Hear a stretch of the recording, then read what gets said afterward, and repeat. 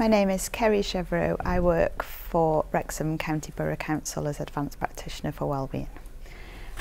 I felt it was important I came along today because I represent services that serve the 11 to 18 population in Wrexham, so it's important that young people's voices were, were heard.